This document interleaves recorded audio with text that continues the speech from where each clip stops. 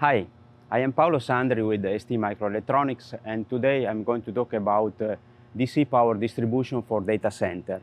The recent increase in uh, power demand for the digital ASIC uh, is pushing uh, the transition from a 12 volt DC bus uh, to a 48 volt DC bus. Uh, the result is a higher efficiency of the power conversion which results in a better TCO for data center.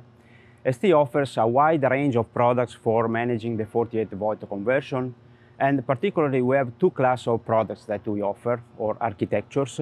The first one is uh, uh, an architecture that is a dual stage conversion so we convert from the 48 volt down to an intermediate bus and then from this intermediate bus we go straight to the CPU or the uh, digital point of load.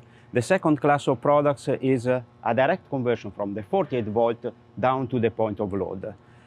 For the two-stage approaches, uh, we have uh, different uh, uh architectures. So we have uh, unregulated architectures that are based on STC, switch switched tank converter.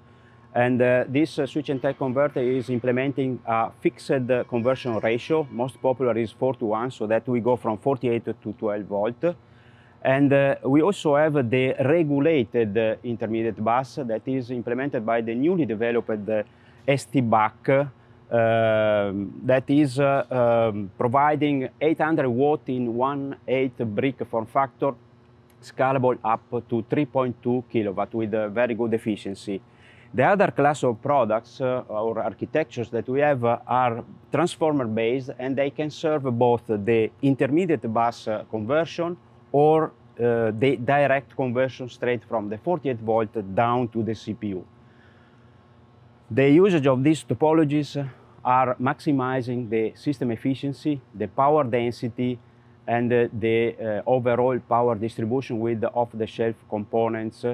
And uh, the um, goal is to maximize the efficiency uh, of the whole system from the 48 volt down to the uh, point of load.